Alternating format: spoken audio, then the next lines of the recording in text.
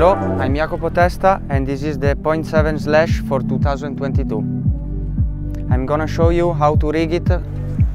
You got all the specs of the sail, how to rig it here. I suggest you to follow them and uh, then personally maybe add a little bit more or a little bit less, depends how you like it. The main difference of this year is this batten, number 4, is a bit longer. The sail was powerful already before, but now with this batten a bit longer is more powerful and gives you uh, more early planning. It's important to don't put too much loose leech, just a little bit in this zone. Be careful that all the battens are flat, like this one, this one has to be flat, and another thing very important is the tension on the boom.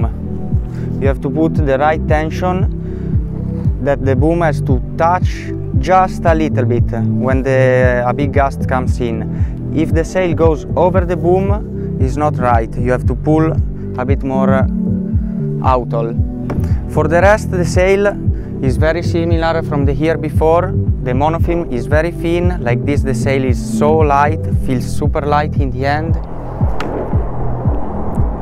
It, got like before lots of power in this zone. It's very important uh, all the dacron close to the mast pocket. It gives you lots of pop, lots of uh, acceleration, lots of drive forward and uh, it makes uh, the sail neutral during ducking.